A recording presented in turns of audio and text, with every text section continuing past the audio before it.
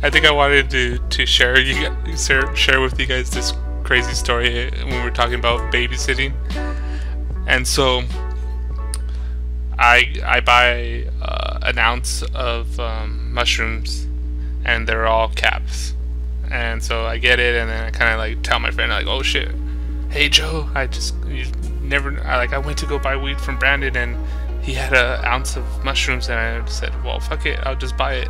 And he's like, dude, D- Daniel, our friend's um, house is like, you know, he has. This was when I was like probably 22 or whatever, and he's like, oh, um, Lu- uh, Lupe's house is free, like no one's there.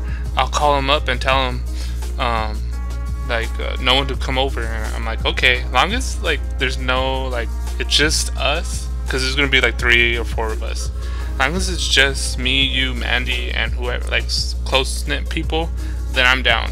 Like, but I don't want to like a party to break out and then we're all like shroomed out. And he was like, okay, like don't worry, that house will be cool. And I'm like, okay. So, uh, so I'm like preparing for for the day, and I'm like, okay, I'm gonna have all this music. I'm I'm gonna uh, buy. Uh, I'm gonna pre-roll my blunt wraps, so we don't have to worry about it when we're stoned.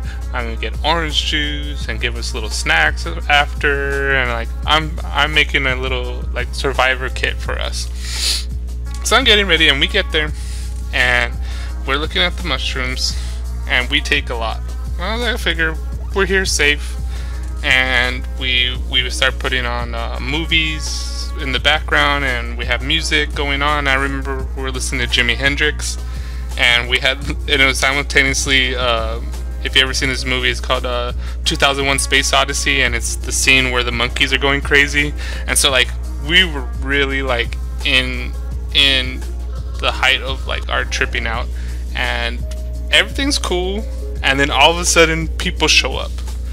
They open up the door, and it was like, and we were there smoking weed with these random people. Not random people. We knew who they were, but we had like this strange feeling where we're like, okay, we don't want to tell them that we're like really fucking out of our minds right now. We're just gonna play it off that we're stoned, and so like we're smoking um, the joint, uh, the the blunt, and all of a sudden my friend Mandy goes outside the room. I'm like, oh shit, I got.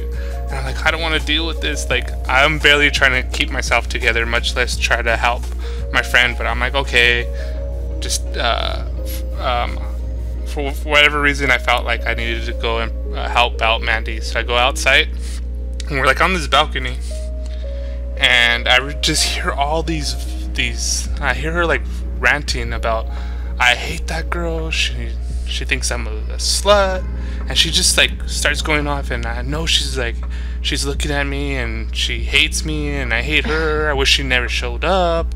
And why did she show up right now? And she's just like going off, and I and I go, and I say in my head, I'm like, damn, Mandy. And then she looks at me, and I look at her, and I'm and I notice that her mouth wasn't moving, and she's still kind of like talking, and I'm like, wait a minute. And I think in my head, it's like, were you talking or were you thinking inside your head all this whole time?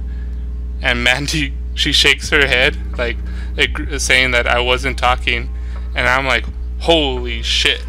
And I'm like, Mandy, you could do whatever you want, but I can't handle this right now. Cause like we were like t- like talking within our heads to each other, and like I can't handle this right now. Like I gotta leave you alone because I have to go walk because I I am about to freak out right now. and then I, and then at the same time, my other friend he was like, uh, "This is why I told him I didn't think it was a good idea because we couldn't trust that guy." He threw a party when we told him not to throw a party. But anyways, my friend he was outside like doing like the Jimi Hendrix thing where he lights the guitar on fire, but he's like out in the front lawn. And I'm like, oh my god. And he was like he's like a big football player guy. And I go out there, I'm like, Joe, are you alright? He's like, I don't know, what have I become? and I'm like, Joe, just just tell me that you're not gonna go like running up and down the street because I can't handle that right now. like just just chill right here and everything's gonna be fine okay and i'm like oh my god because at 1.2, i had kaleidoscope vision like I had 360 vision and kaleidoscope vision. So I kind of had like vision of a fly, I guess. And so this is like how messed up out of my mind I was. And I just remember when I, the moment when I talked to my friend Mandy inside her head, and we communicated without speaking, telepathically. And I was just, that was like the moment, because that's because the first time it ever happened to me.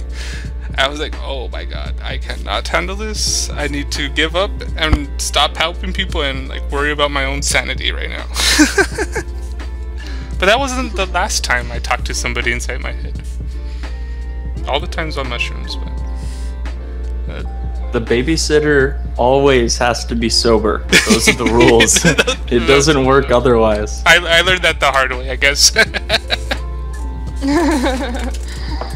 but most of the time I'm alright. it's that special time that we took way too much that time.